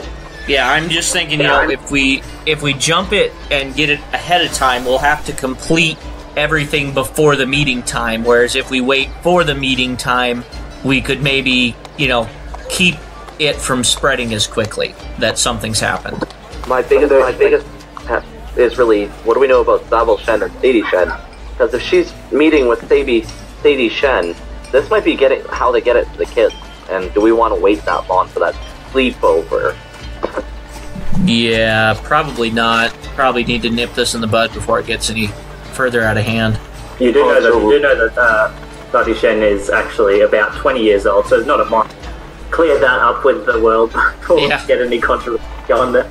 Yeah, I definitely was thinking the kid was like eight, and I'm like, this is sketch, sketch. baby. yeah. no, I'm totally fine with jumping this before before the meeting. We'll just be on a bit of a time limit then, but realistically, we can cover a lot of ground in that amount of time, especially if we take everything by surprise. Go in, identify what's there going on there, and then you know, bust down the doors, deal with it, and move on to the next. And I prefer we get this over with without involving the Shens, because if something were to happen to them, well, we might be in trouble. Yeah, I agree. I'd uh, adjust my mask a little bit and uh, say, "All right, whoever's ready to to do this, let's get what prepping we need to get done and take off." I would laugh at the takeoff comment, and I'll say, well, well like birds like a feather, Looks like some raven lunatic. yes, raving lunatics, and I've got a raven. All right. Uh, just to Hold on. clarify, uh, Bromwell is in fact a female, and none of the dwarves that were outside in that alleyway were. Okay. No, but we know they're going to be at that tavern, the something and drink. Sure, I sailor in and drink. Should we announce ourselves as one of the other guns? Um, I think if we, well, my my only worry with announcing ourselves is, do we want everybody to know that we're the ones taking this out, or do we just want to you know, murder all witnesses and get out. Not murder all witnesses, but you know, make sure it doesn't spread who we are necessarily. Uh, if it comes to blow, I- those I believe a bit misdirection would be helpful. Probably not a bad idea. Do we want to say we're from one of the other gangs? Like, jump in and and uh, you know try and frame one of the other gangs for this? Maybe put them at odds. Could say we're just in from uh, the Fire Isles. I'm familiar with enough with Fireport, Yeah, we could do that. and I mean, use all the right hot terms to insinuate what we're looking for. Yeah, I'll let you do the talking, um, and we can just back you up because you're kind of the man with the plan, the documenter type stuff. You, a lot of your stuff, I think, would be best if you were kind of not up front to take the damage or anything like that, but you were the one that kind of does the talking because you might be able to even use your pact type stuff. Well, I wouldn't know any of that. Damn it. Um, yeah, I, I would say I'm totally willing to let Cherno take the lead. I might have something under my sleeve as well to encourage it, but I think I might need Alphaphat for this one. We know somebody with a taste for the hot stuff. yeah, roll, roll your addiction check. Yeah, the life cleric, life cleric with an addiction. He just wants to feel alive, guys. Be nice. Speaking of shady characters, I want to note that Bob is playing himself in this game, and he suggested pulling the teeth out of the Tabanona. That is true.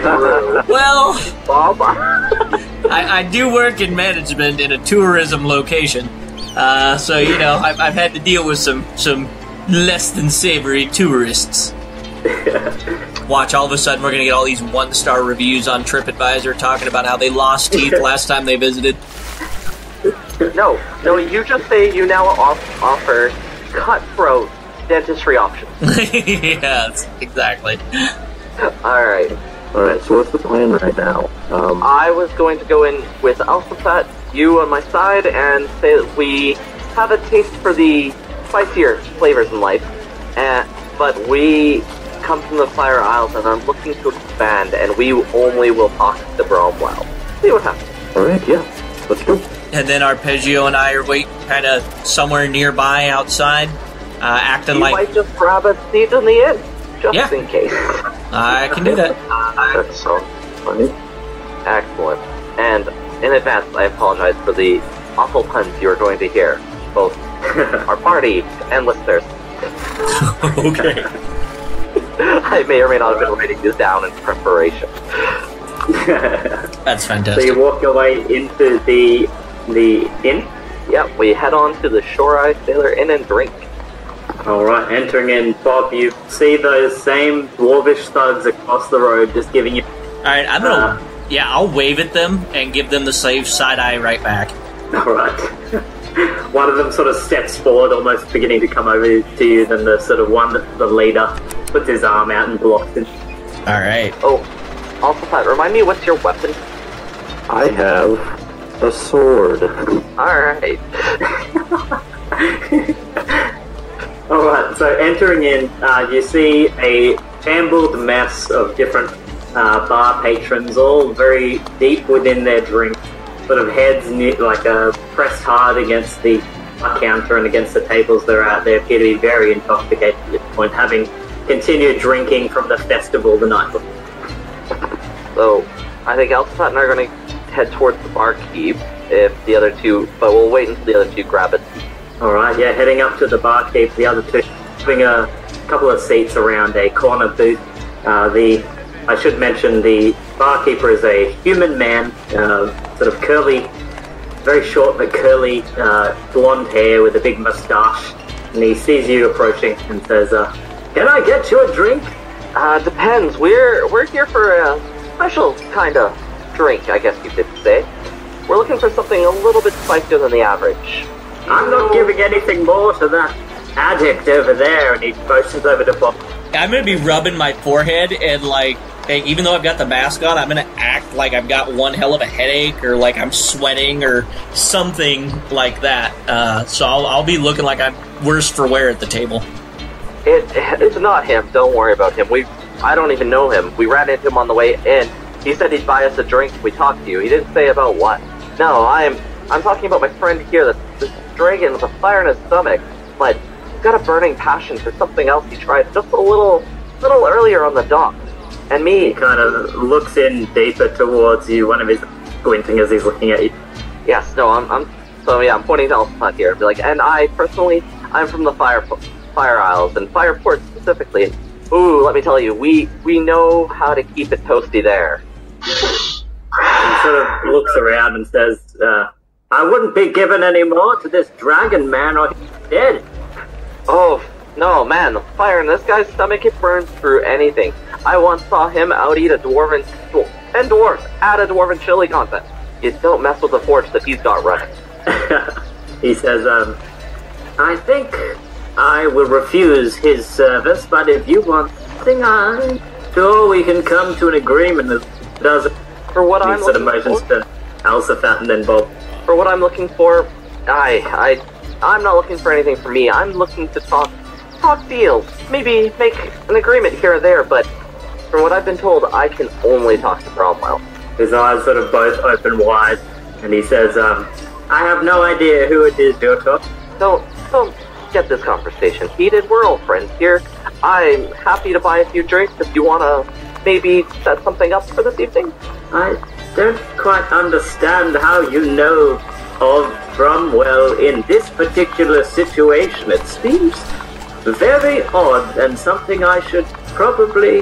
Uh, I think I need to go and stretch my legs. And he begins sort of mo- moving to exit or from around the bar. No, no, friend, friend. But how am I going to get a drink? Well, this is nothing. This is just between friends. Uh, roll a persuasion check or a deception if you're actually deceiving him. Uh, more persuading. Yeah. Okay, let me just modifier. Man, this guy Persuasion. is so good at inciting people. Seventeen. Oh yeah, beats his five. Uh, he sort of slows down a bit as after you say friends, he kind of stops and says, uh, I, didn't, "I didn't think they were letting any others into the Ode. I thought they were all dwarves." I'm from the Fire Isles, but they figured too many dwarves, people would start getting suspicious. I mean, do you know anyone hotter than a Fire Genasi? Right, we are, uh, well, you could say independent contractors. Well, no, not even. A fire, a bronze dragon, a fire genasi. No one would ever look twice at us in the Fire Isles, right? And uh, what of these two over here? Again, we ran into them outside, and the guy promised us a drink if I talked to you. He didn't even ask to tell me to drink, talk to you about what. He sort of pushes himself back for a moment, seeming like he's had an internal realization. You, you are going to be telling uh, Bromwell what I sold to you, are you? Tell who? And I'll, like, just quite obviously pretend like I have no idea who he's talking about. He said Bromwell. Put my head in my hand. I know that. It's it's a thing. No, I won't tell anyone anything. I just I want to have a second to talk to Bromwell. That's it. Nothing more. He, he's looking a bit suspicious towards you and says, She's going to be here in maybe a few hours, but as long as you, or you, or you, or you, and points to the, do not tell her what I sold this one, and he points to Bob. I, I will let you stay around. I'll I'll make you an even better deal. Don't have to say anything. Don't do anything. Just send me a special drink when Bromwell walks in, just so you and I know no one will actually have any idea that we've ever spoken. In the meantime, we'll sit here, enjoy drinks, enjoy some of your food, and enjoy the company of those strange fellows at that booth. He says, um, you, you aren't aware that everyone's being cleared out, Nope. you haven't been told that. I got told to come here so that I could try and help Brom- help Bromwell invest her great empire into the Fire Isle, where there is a great need and a lot of corners for a lot of things to be done. I'd say he's starting to get a bit suspicious of you. I'll get you to make a deception check. What what do you want? Persuasion or Uh, deception. deception? Thirteen. Uh, he sort of looks at you, says, uh, I think you lot need to get a bit better and going to. We need her guarded over, and I don't want my ass on the line because you guys don't quite know what is going on. And that that is fair, my good sir. Well, how about this? Can I just get four four beers, something with a spicy touch, and we'll sit down and we can pretend this didn't happen.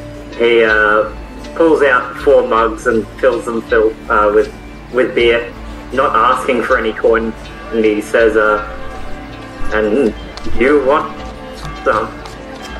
You sorry, he asked. You want some? Yeah, you want some?" Sort of hesitantly, like Oh. giving you like a little wink.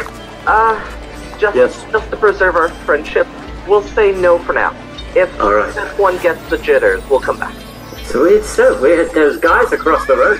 First, well, uh, no one in a while, but I'm sure they'll come over and you can clear it back up with them. Sounds like a plan. Alright, and he sort of just turns around, just continuing going about his Okay. passed out everywhere. So as we go back to the table, I'll whisper to Alphafat, like, we got a lot of info. We know the moment this place clears out, that's when we need to be in here. Right. Like, this way we don't have you indisposed of for another 10 minutes. And we know exactly when to hit this place. And Well, so far, like it sounds like maybe the scorch isn't coming from from this gang. Um, the bartender is uh, selling it for sure, but seems like he's doing it without um, Bromwell's permission. and actually, good point. So he, I mean, I think he must be getting it for someone else, or you know, I'm not meant to say that he's the source. I would doubt he's the source. Let's go see what uh, Bob and our, our PGO think. Hey, Bob, Arpeggio, Yeah, tell them what happened. hey, Joe. yeah, Arpeggio, sorry. Yeah. No, if you if you guys tell us all that, I would be super suspicious that maybe this gang isn't to blame either. I mean, yeah, they're assholes in a gang, but you know, they may not be the ones peddling the drug, like you said. Maybe we wait until everyone clears out, and then when Bromwell's about to arrive, we tell her that this guy's peddling Scorch behind her back. Looking around, Braden, is there a, a open second floor window or an open window that would be close enough I could have my familiar wait like right outside of it and listen in on what's going on inside the bar? Sure, yeah, absolutely. Okay, then I would tell everybody that I could, you know, put my familiar right outside one of the windows, and uh, we could listen in to what's going on uh, to try and figure it out once the entire area has been cleared out. That sounds fantastic. Does anyone have contact with the merchant guild? I mean, I talked to that one guy, but uh, If only Dandabin was there. Yes. I know. I was just thinking, if there's a ship, small ship coming in, there's a good chance they some sort of records of ships coming and going. We could There'd check. be someone within the within the docks that would uh, keep records of that with their boat. Yeah, I would almost guarantee it. Yeah. Perfect. So why don't we leave our bird in the eye, our eye in the sky here, and let's go have a talk to someone else. Yeah. I command my raven to go perch somewhere near an open window, and uh, I'll follow wherever. All right, the raven flying up into the open, sitting on the little ledge there. Uh, you all exit the tavern. Yep. After drinking the beer and sitting for a bit, so I don't look totally weird. I don't touch. I don't touch the beer. There. Good choice. As a cockroach runs across the table. All right, so exiting out into the street, uh, you make your way up the road, and you'll meet a small section of dwarves over in the alleyway. Uh, break away from the alleyway and immediately beeline for the doors of the tavern. ah, do I Not towards you, like but Bromwell? towards. Uh, there are. It's the exact same five dwarves that uh, interacted with Bolt previously. Never mind. As they sort of rush over there, the lead one opens the door, stand guard at the door itself. And Bob, I only assume you're putting your vision through Graven. Yeah, I would uh, whisper to the group. I would say, "Hey, uh, keep walking. Uh, ignore my hand on your shoulder. I've got to concentrate." And so we don't look suspicious, you know, I put my hand like on the back of Cherno's shoulder or something, you know, so I can keep walking. Then I would close my eyes and and have my all my senses go through the Raven as we kind of walk away from the tavern. Uh, looking down upon the bar, you see that dwarf enter through, quickly sort of beeline for the bar itself. The barkeep looking very sort of shifty and sort of backing up against the back wall. Uh, the dwarf shouting at him, um, "What the hell were you doing with those?" The barkeeper just sort of like saying, uh, "Oh, no, nothing at all, nothing. No, they're they're your friends, aren't they? They said they were here to uh, meet with Bromwell or something." And the dwarf just sort of like clasps his hand into a fist and bangs it against the table. There's uh, there's exactly what we're meant to look out for. Bromwell is not meant to. No one is meant to know of their meeting. And they sort of he sort of backs off immediately and makes out into the street with the gang at his back. How far away would you guys? Would you be moving at a brisk pace or just walking slowly?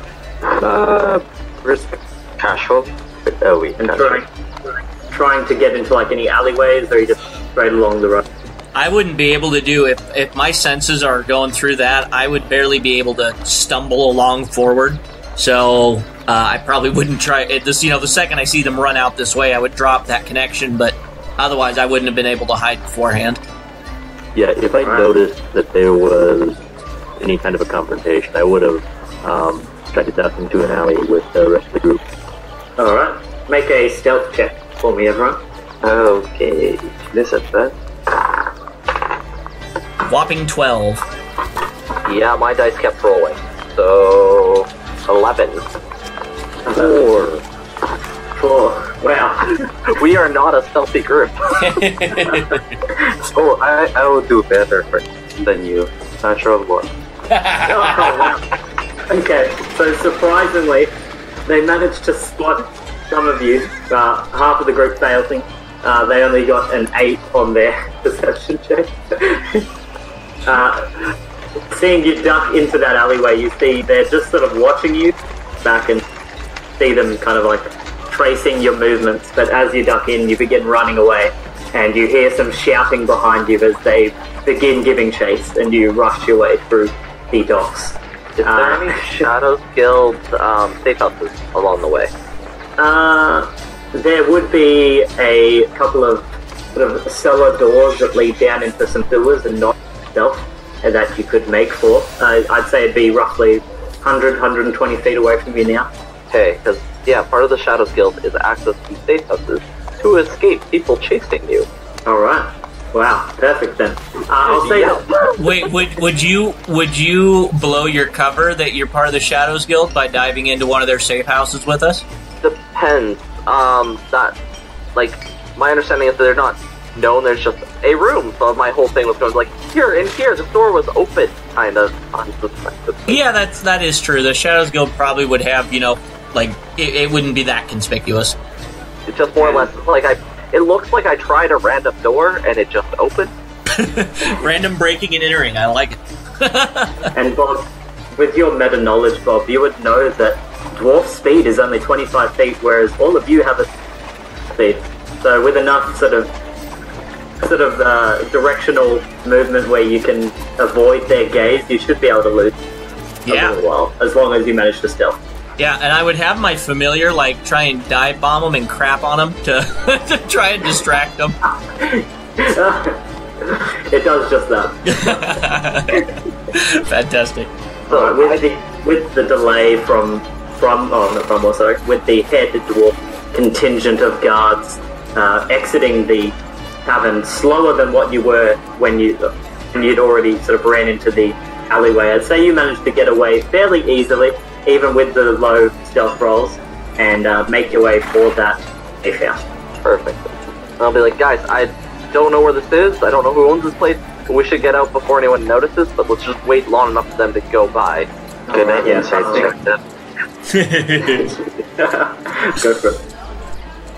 That that work for everybody? 18? Yeah.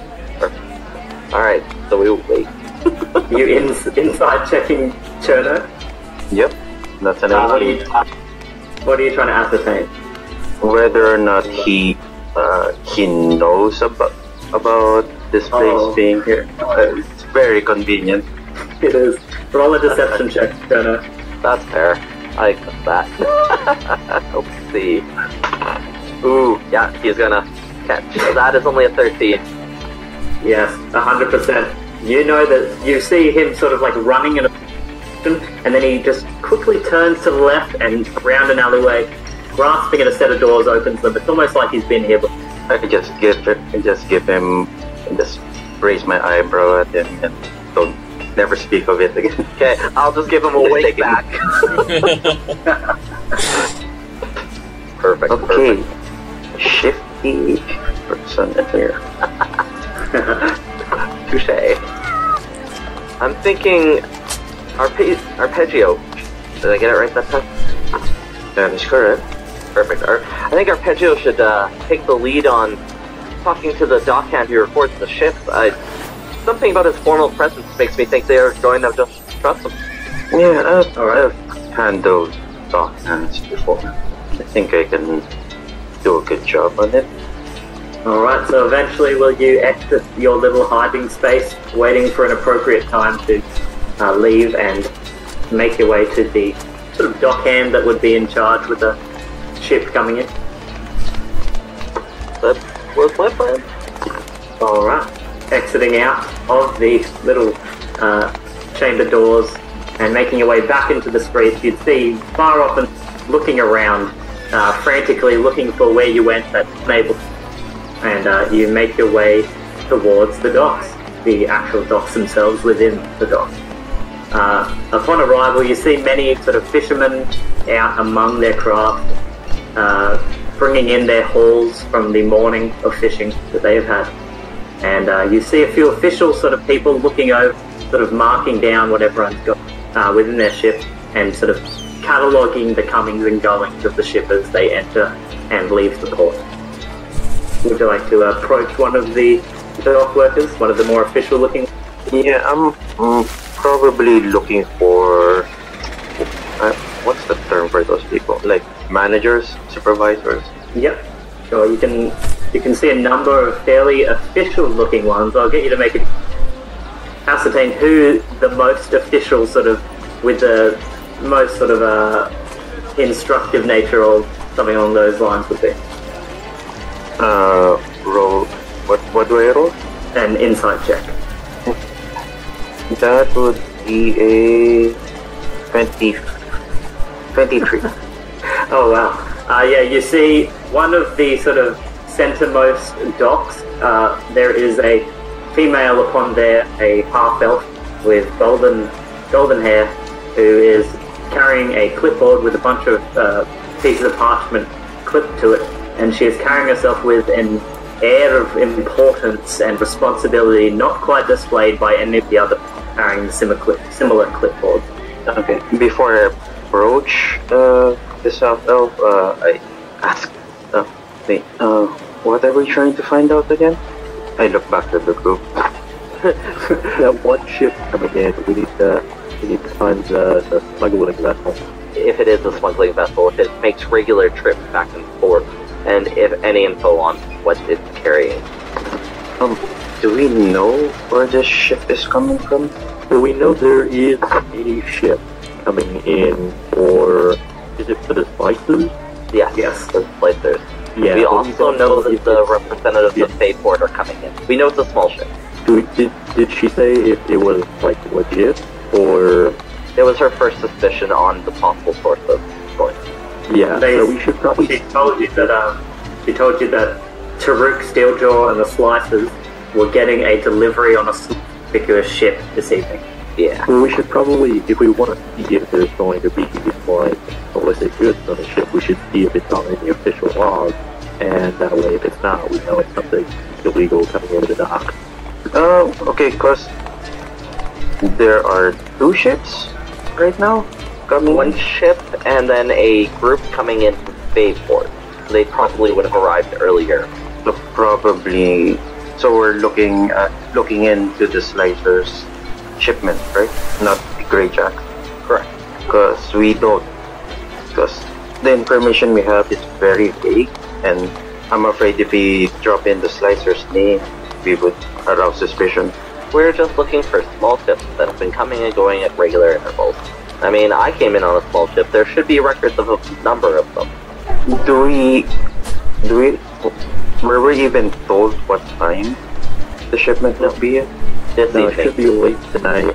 But Yeah. um, yeah, if it's just a small, a small vessel coming into this dock tonight, um, we should be able to figure out whether whether that ship is like legit or not. I'm, I'm gonna assume that there are, there's a certain time at night where ships no longer come in and out. So anything that comes in after that is probably shady or trying not to be seen. Yeah, and actually, um, with the two lighthouses there, uh, this would be a large enough port and everything that uh, ship travel or uh, cargo ships and stuff would be coming in pretty much 24 7. So it makes smuggling very easy since there isn't a, a, a dead time. All right. So, what decision did you come to? Um, I think fix their plan.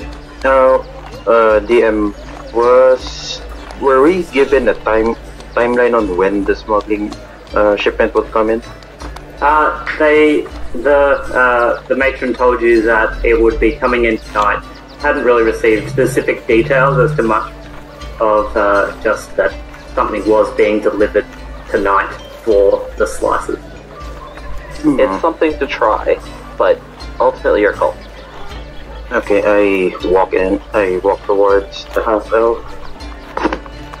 All right. Uh, you see, she's looking over some vessel, uh, sort of looking over the different crabs and whatnot, having, having been caught uh, recently, and then sort of having a dialogue with the ship's owner before sort of walking back uh, up the dock and then just standing there, turning around and waiting for another vessel to enter. Good day there. Uh, I am from the city guard, and I'm just making my rounds here. Have you seen? I'm here to ascertain if you have seen any irregularities with the shipments. She just sort of turns to you, and looks at you, says, uh, uh, sorry, uh, good morning. I'm not too sure. What, what exactly do you mean by irregularity? You know what I mean. Smuggling. Have you seen any smuggling, or are you sus- have seen any suspicious dealings or ship any uncharted ships coming in and out of the docks? Uh, um, I, I, I don't know exactly what you're. I flip. I try to slip a gold coin in their hand. I Oh, her I know eyes immediately sort of flare, and she kind of listens for a second as you begin talking. I know you don't want to be called out. I know that being a dockhand doesn't mean much, so I'll make sure this doesn't get out, but I need information. I, I, I was paid by the slices and Taruk Steeljaw. He, he said he would look after me if I let a do- uh, let a ship through tonight. And what time and dock with this be? He points a few, uh, a few sort of docks over, and there is no, there- no, I tried to stop. Don't be too obvious about it. Just nod in a certain direction. She just sort of nods to you and says, uh, two docks over, there's, they're going to be coming through there, maybe around just after dark. I think, I'm fairly certain anyway, the ship is out to sea docked somewhere, or in a cove nearby. I think that uh, sending one of their rowboats here. And do they do this regularly? Uh, this is the first time for me, but I, uh, I mean, I haven't spoken to anyone else about it. Okay. I slip her another gold. Thank you for your service. And I walk. she sort of grasps it and just is grateful that you aren't going uh, corruption and takes it and sort of nods and turns back around trying to look as prim and proper as possible and doing her job. I return to the group. Uh, well, I've got a vague time, but we got a location. All right, great. Yeah, I would uh, then, as soon as we know when it's supposed to, uh, you know, as soon as you tell us all that kind of stuff, um, I would, you know, send my Raven familiar over that direction just to keep watch so we can kind of prepare ourselves without having to worry about, you know, early shipments or anything like that, or, you know, see what kind of preparations the different groups are making to transport the goods and that kind of stuff. All right. So your raven finishes pooping on the dwarves Yes. uh, keeping watch over as you all reconvene. All right. To be continued. Thank you for listening to this episode of the Chaos Plan. We really hope that you enjoyed it, and since we are doing group games now, we are going to very quickly start getting episodes out there on a regular basis. If you want to take part, please visit Patreon, donate the $2 a month, and you can get in on this guaranteed. We already have the next batch of players getting ready to go for the next game, and we're already looking at the different DMs that are going to be taking part. Both Braden and Mike have committed to doing games so far.